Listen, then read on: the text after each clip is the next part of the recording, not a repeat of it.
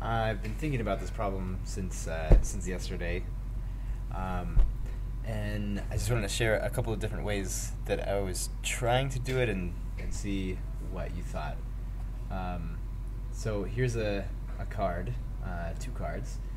Um, so I think this is, how uh, um, everybody but me tried to solve this problem. So. Uh, but I, I, think that I came up with something different, so I thought I would uh, uh, bring that up.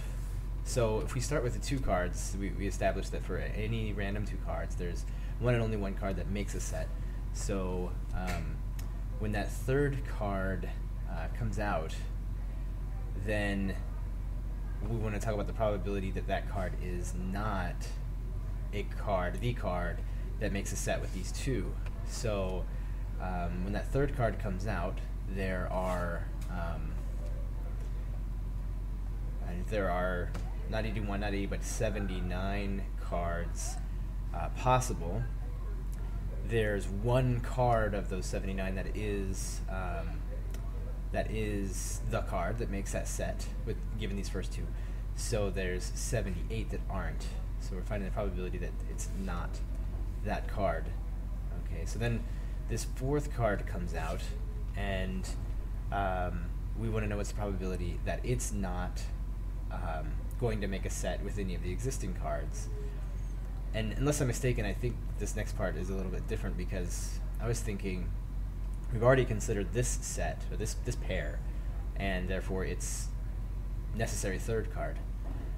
The only new possible sets for this fourth card are the sets that would be made with any new pairs. So we've already considered this one pair.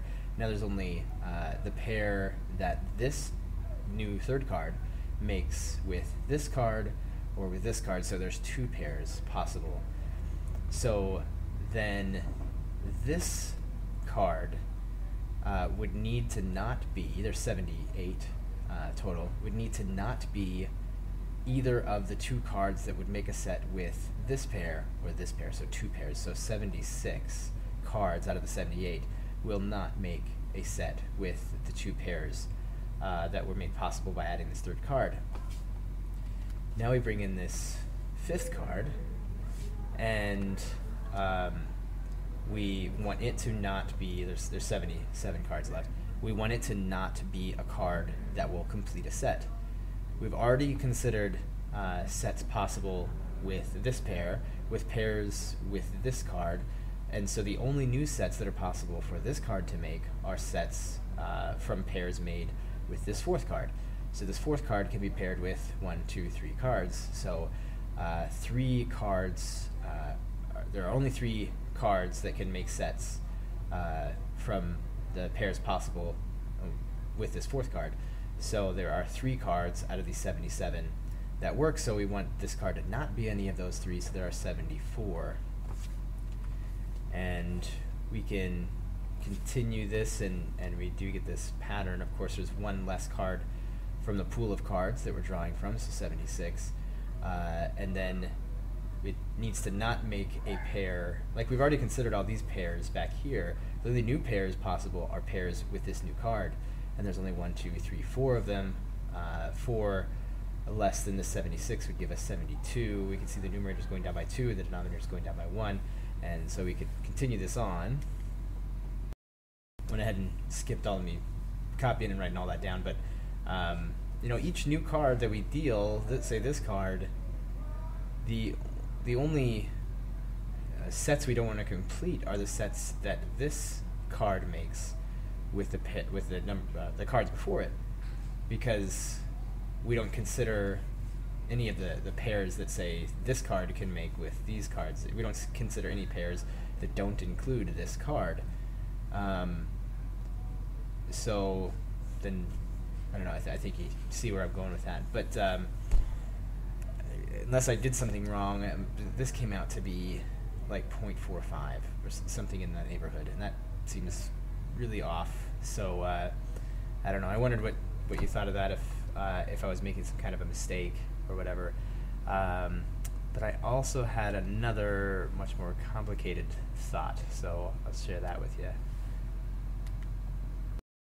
so in this other way, I, I thought about uh, thought about the probability in this way. So I thought of the cards being lined up like this, and then taking the first one and making a pair with the second one, and then um, thinking about how likely is it that the the card that needs that you need to make this set here is not in the remaining 10 cards? And then doing the same for this this this this this. Getting down to here and then you know how likely is it that this card is not the set the card that you need for this set? And then of course you wouldn't go with a pair of, of the first card and the last card because there's no more cards left to make a set with of those 12 so so here um, the first one, and I'll just uh, I'll list them up here. Um, how many ways are there to have these remaining 10 cards not be uh, the one card that you need? Um, so we want to take these 10 cards out of the cards that are not the card that you need to make that set. So there would be um, 78 cards that uh, do not make a set here, or 70. Um, there's 79 cards left. 78 of them don't make this set, and so we want to choose 10 of those, and that's how many ways we can uh, take 10 cards out of the 78 that are not the card that you need to make the set, and then we would divide that by 79 uh, C10 at least that's what I'm thinking, uh, because there's 79 cards left in total after you um, kind of take these these this, the 81st and the 80th one to be a pair. Um, then you move on from there, and you take this guy um, with the third card, and obviously this one is out of the pool of cards that you would choose from. Uh, so there are now um, 77 cards. So there's 78 cards in total um, in, in the rest of the deck. Uh, one of those cards is the set card, the card that you need to make that set. Uh, but uh, 77 of them, 77 of them aren't, and we want to take nine of those. and find all the ways that we can take nine of those out of the 77 uh, and not have them uh, make a set. And then we would take that to there's 78 cards left and we're going to see how many combinations of nine there are. So that'd be the probability of, uh, you know, it, it not making a set with the first one, not making a set with the, uh, not making a set with the second one, with the third one, and then we keep moving on to the, the fourth one, the fifth one, the sixth one, seven, eight, nine, ten, and so on. Um, so that comes out to be So I'm thinking it, it comes out to, to look something like that, and, and this, uh, the, the, probability that I'm on there uh, would be, um, after we paired with the second, third, fourth, fifth, sixth, seventh, eighth, ninth, this would be the tenth card that we've made a pair, uh, and these two are not going to make a set, so there'd be 70 choose two ways, um, you know, 71 cards left uh, in the deck, 70 of them do not make a pair, so 70 choose two over 71 choose two. Um, probability that neither of these cards makes that set. And then we move down to the last possible pair we would consider, because we wouldn't consider this pair, um, and that would just be that there are 69 cards that are not set makers, and there's 70 cards left in the deck uh, after we've taken these out.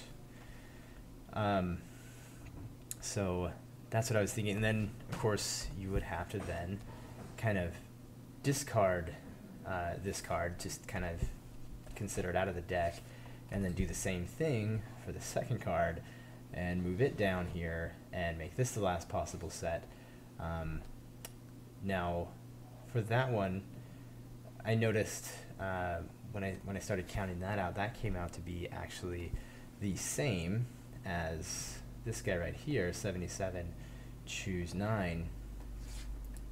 I'll put that like that. That's what we're considering right now uh, out of 78, choose 9 because it's kind of the same situation as this first one, having passed the second card and, and being considered to be a pair with the third card. We want to kind of take these cards out of the, the total pool, meaning that there's uh, 78 in the total pool and we have nine left and so on. And, and the pattern would continue, so we would have this all over again. So we could just copy that. And then for, it certainly seems reasonable to me, and I know this seems just insane to try and actually calculate, but I just thought, I, wondered what, what you thought. Um, and you know, we would keep doing this until um, the third to last card, because we wouldn't consider the last card, uh, the second to last and the last card, to be um, a, a pair and a, therefore a possible set because there would be no third card uh, left. Um, but in that way, the, the first card is made to, to be paired with every other card, the second, third, and, and of course the last has been made uh, to pair um, or be considered as a possibility for a set um, uh, with, with every other possible pair. So there's no really need to consider it as part of a pair because it's been part, you know, considered uh, a possible part of one of the possible sets. So we would only need to kind of copy this for the first through the tenth. So we need to con- continue this pattern through the tenth. We would, um, I don't know, I, I guess multiply all these probabilities together, but um, it's so much that I just thought I would share it and see what you thought, and you can just say that that's too much or there's some flaw in that reasoning. But um, I just wondered what what you thought. So I will stop copying these, I guess, because you know what I'm going for here. Um, but yeah, uh, any of your thoughts would be uh, fun, I'm sure. So thanks for watching, and I hope to hear from you soon.